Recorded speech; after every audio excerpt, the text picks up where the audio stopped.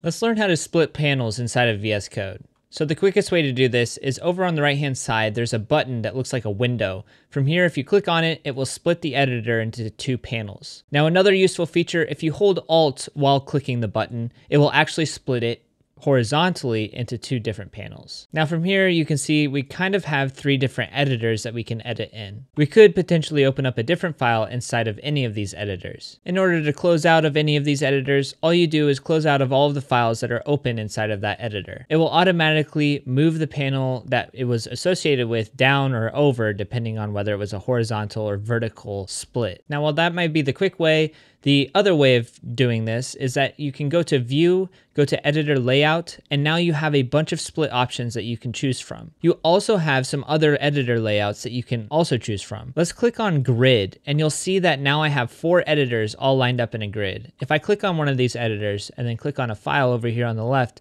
it will open up that file in that editor just like before. Now we also have the option to split and group. And when we click on this, what happens is it actually doesn't create a new editor. Instead, it keeps the same file, but gives you two different windows to view that file in. So if you have a long file and you maybe have some data at the top or maybe you have some data at the bottom and you want to be able to view both of them at the same time, you can use this split and group to view them.